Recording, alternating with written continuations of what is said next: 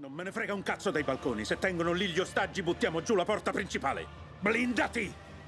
Avanzare!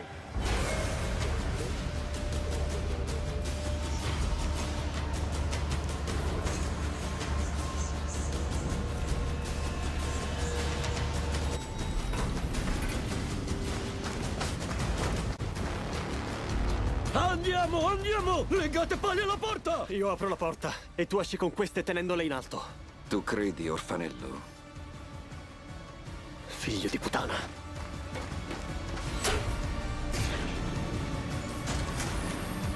Adesso che farai? Ti farai sparare come hanno fatto a tuo padre? Fermi! Denver! Denver, che fai?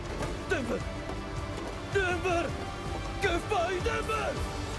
E qui, fratellino, la grande sorpresa, quella a cui stai pensando. Bandiera bianca! Bandiera bianca! Bandiera bianca! che sta facendo? Bandiera bianca! Bandiera bianca! Obiettivo nel mirino. Chiedo l'autorizzazione a sparare, signore. Permesso di sparare. Ripeto, permesso di sparare. Uno Stato può permettere che porti l'esercito in strada. Uno Stato può permettere che entri nella riserva nazionale, addirittura che gli rubi l'oro. Però c'è una cosa che non può accettare, che non può tollerare che succeda. Uno Stato non può accettare che arrivi ai suoi segreti. Se noi tiriamo fuori quelle cassette rosse e loro le vedono, impiegheranno meno di un secondo a capire che cosa abbiamo tra le mani e saranno nostri.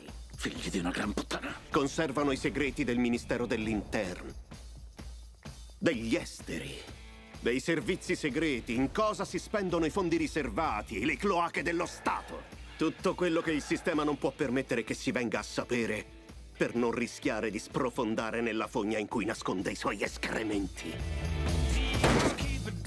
Figli di puttana! Fermiamo l'attacco! Ripeto, annulliamo! Rispettiamo la bandiera bianca e ritiriamoci! È possibile che quei figli di puttana stiano nuotando nella camera? Non lo so, colonnello, non lo so.